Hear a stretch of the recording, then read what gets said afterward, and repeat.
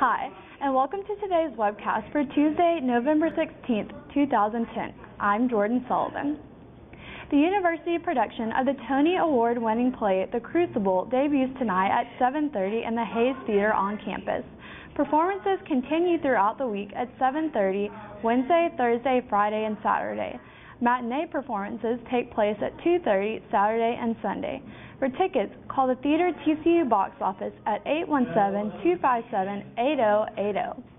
The trombone choir also performs tonight at 7. The trombone choir will play and the concert will feature guest artist Sim Flora, jazz trombonist. The concert will be held in the PepsiCo Recital Hall. Admission is free. For those students that missed the flu shot clinic last month, there are plenty of shots still available. The flu shot this year contains a mix of three inactive viruses, including H1N1, H3N2, and the influenza B virus. The university medical director encourages students to get their free flu shot at the health center. The men's and women's basketball teams will play SMU this week. The men's team faces off against the Mustangs at home at 7 tonight. The Lady Horned Frogs play SMU Wednesday at 6:30 p.m. at home.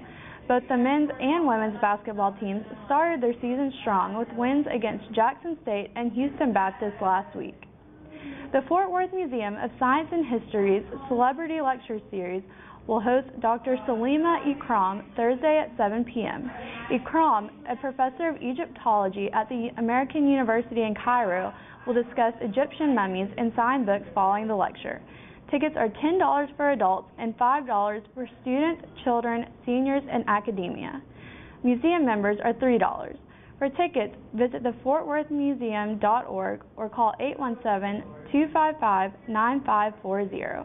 That's today's news. Tune into tomorrow's webcast for your latest updates. I'm Jordan Sullivan. Thanks for joining me.